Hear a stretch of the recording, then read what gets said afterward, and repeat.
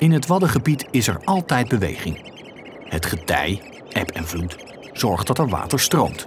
En de wind zorgt voor golven. De wind verspreidt zand boven water en op het land. Zo ontstaan er duinen.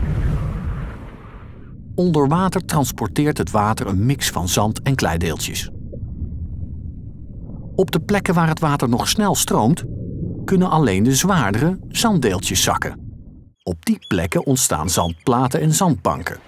Deze zijn best stevig, zoals een strand. Maar waar het water langzamer stroomt, kunnen de veel lichtere deeltjes naar de bodem zakken. Daar ontstaan slikbodems. Deze zijn een stuk modderiger. Er zijn plekken in de Waddenzee waar verschillende getijdenstromen samenkomen en het water bijna stilstaat. Hier ontstaat een heuvel van slik, het zogenaamde bandtij. Deze vind je vaak tussen een waddeneiland en de vaste wal. Geen plekje op het Wad is hetzelfde. Veel verschillende dieren en planten kunnen hierdoor hun eigen leefgebied vinden. Zo houden watpieren meer van zand en watslakjes juist meer van slik.